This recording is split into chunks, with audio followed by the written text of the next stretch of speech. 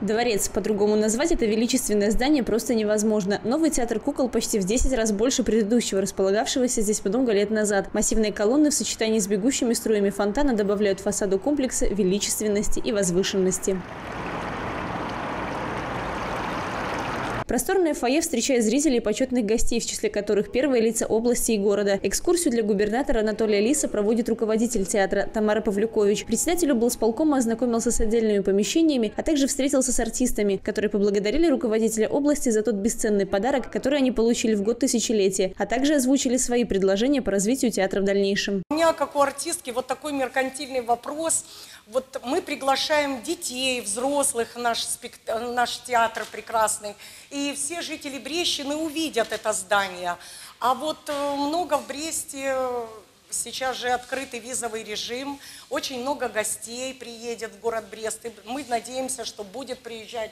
И хотелось бы, чтобы они тоже увидели наш прекрасный театр, и мы хотели бы попросить вас посодействовать. Может быть, вы как-то поможете нам, чтобы наш театр внесли туристическую карту города Бреста. Нам туризм, статистику пойдет, нам все тоже пойдет. Нет, продумать такие красивые значит, мероприятия имеется в виду для туристов, чтобы они заинтересовали, разместить в интернете, везде, чтобы это было. Ну, все, это нормально. Может начать с музея? Вот в следующем Можно. году у нас э, Давайте. предполагается музей, у нас много экспонатов, мы думаем уже Ну, над так я говорю, надо да. по, по разным направлениям, не только там, допустим, история 63-го года, театра и все. Надо сегодня и интерактивные какие-то, чтобы были. Сегодня все, что есть в театре, имеет гриф «современно». Современная планировка, современный интерьер, современный подход к использованию помещений. Здесь будут развивать мастерство не только профессиональные артисты, но и заработают студии для детей, что приятно порадует горожан и гостей областного центра. Новый объект, прекрасная архитектура, значит, э, хорошо исполнено, наши, в основном белорусские материалы. Поэтому, да, он недешево обошелся бюджету, но вместе с тем, я думаю, что не все надо переводить только деньги. Да? Значит, это культурное, это идеологическое воспитание, особенно нашей молодежи, да, и значит, детей, и взрослого населения. Это культура. Поэтому культуру надо вкладывать деньги. Вот и государство, значит, яркий пример, когда вкладываются деньги.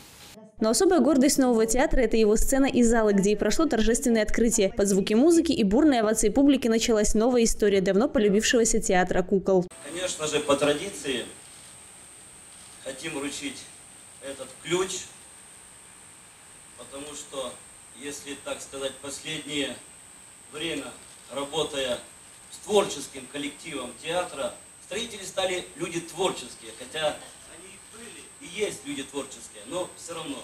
Тамара Ивановна, вам и вашему коллективу удачи, успехов, всего самого хорошего. А мы будем рядом. А почетный бессрочный билет на все спектакли коллектив учреждения культуры адресовал губернатору региона за помощь и поддержку. Торжественное открытие театра стало и торжественным началом нового сезона. На сцене прошла премьера спектакля для взрослых от режиссера Руслана Кудашова под наименной повести Василия Быкова «Сотников». Ты как? Если плохо, то обратно. А я, может, куда в деревню подскочу. Один. Один. А что? Не с пустыми же руками возвращаться. И что ты шапки никакой не достал? Шапки же в лесу не растут. Зато в деревне у каждого мужика шапка. Постановка о жизни, о добре и зле, предательстве, о понятиях, чья суть неизменна столетиями. Понятно и интересно она будет старшим школьникам и взрослым. А вот малышей в театре порадуют совсем скоро. Уже завтра здесь откроется первый фестиваль «Книжный шкаф». Моя душа радуется одновременно и очень-очень волнительно, потому что понятно, что, э, естественно, что и спрос будет немалый, и хотелось бы, чтобы кто однажды к нам пришел, ему захотелось прийти еще, еще и еще, в любом возрасте. Анастасия Ноздрин, Плотницкая, Павел Малашонок, Антон Луговкин, телекомпания БУК ТВ.